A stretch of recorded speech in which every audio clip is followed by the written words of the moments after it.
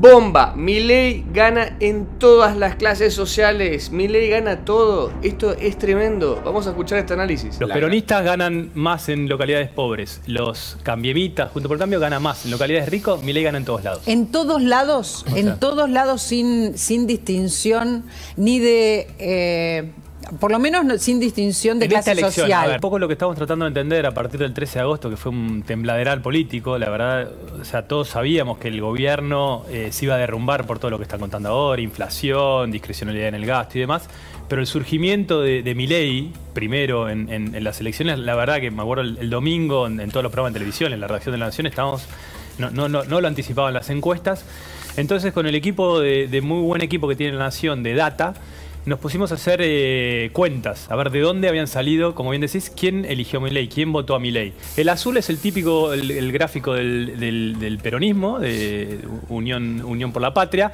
y lo que ahí tenés es una correlación, esto quiere decir una relación entre la cantidad de votos y esto es el salario promedio de cada distrito. Básicamente lo que te está diciendo esa recta descendente es que el peronismo, a, menores salarios, mayor cantidad de votos. O sea que el, el voto del peronismo, históricamente, y se mantiene esta elección, pese a que cayó, es un voto más bien concentrado en localidades de poco ingreso. La de la derecha, que es el voto amarillo, el voto de Juntos por el Cambio, es su exacto opuesto.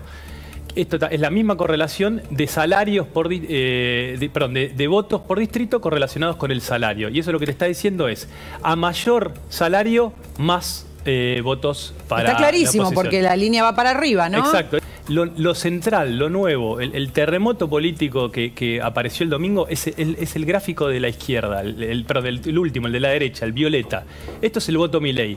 Mirá cómo es la, recta, es plana. esto quiere decir que no hay correlación entre el nivel de ingreso y los votos. Los peronistas ganan más en localidades pobres. Los cambiemitas, junto por el cambio, ganan más. En localidades ricos, Milei gana en todos lados. En todos lados, en todos lados sin, sin distinción ni de... Eh, por lo menos sin distinción de clase social. en esta, sí. En, esta, elección, esto es un fenómeno extremadamente nuevo.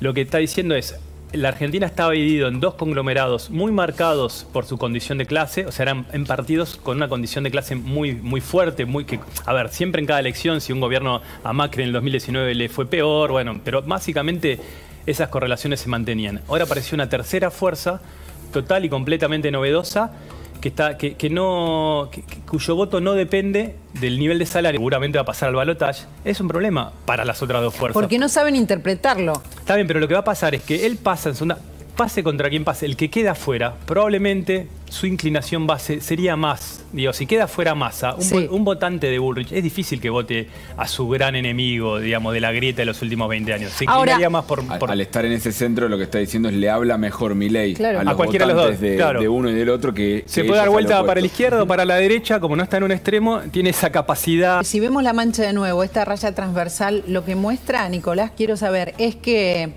el que votó puede tener mucha plata y no tener el otro no tener nada. Exactamente, a ver. Eh, pero estamos eh, hablando de dos extremos. La, localidad de salario promedio más alto de la Argentina es Río Chico, en Santa Cruz. Ahí ganó Milei. O sea, y, y, después lo pusimos a analizar eh, la localidad de menores ingresos, también ganó Milei. Ahora, claro, en el norte, por ejemplo, en, pueblitos muy pobres. Milei ganó en todos lados, salvo en provincia y ciudad de Buenos Aires, que es curioso porque era un fenómeno eh, eminentemente metropolitano, ganó en todos lados. Si se acuerdan del mapa ese, violeta por todos lados.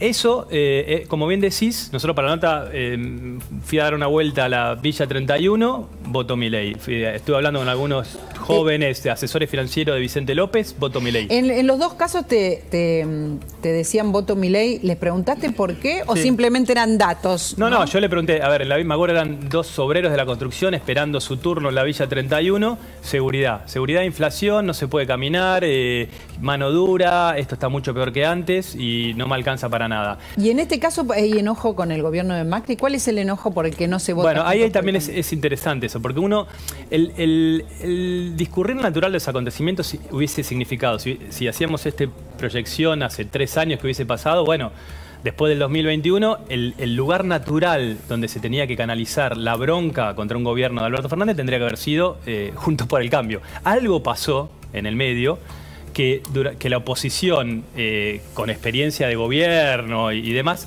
no supo, no pudo, no, logró canalizar ese voto bronca y fue para mi ley. Por ahí tiene que ver con también la, experiencia de, Macri, resultó una frustración para muchos. Tiene también relación con, las frustraciones y con la frustración del gobierno de Macri. ¿No? Claramente. la frustración de haber tenido muchísima esperanza. Como bien decíamos, hay un, hay un elemento que es cuantitativo de datos y demás, y después ya están las interpretaciones. ¿Por qué Juntos por el Cambio no logró ser el vehículo que para recoger toda esa frustración con el actual gobierno?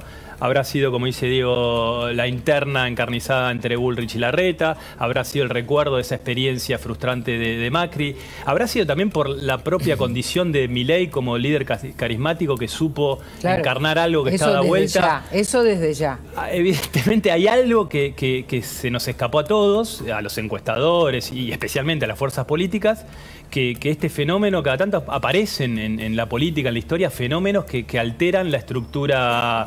Y, esto es lo que ocurre ahora. ¿Cuán duradero va a ser? O sea, porque la gran virtud que tiene mi ley, que es estar parado sin representar un voto socialmente establecido, que, le permite ir para un lado para otro, también puede ser su, gran debilidad. Como escucharon, la gente está cansada, está aburrida, esto es transversal, no importa la clase social. De hecho, pareciera ser el único, y que eso es que, algo que no entienden ni de Juntos por el Cargo, ni Unión por la Plata, que esto es transversal.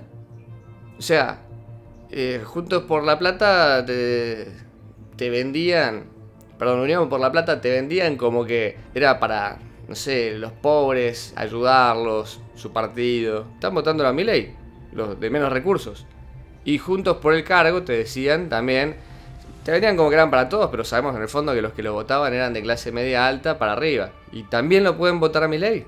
O sea, está siendo transversal, es, es brutal realmente. Y además, si nos queda alguna duda de esta fractura, veamos lo que dice Grabois, que demuestra que ni siquiera los de Unión por la Plata están llegando a un acuerdo.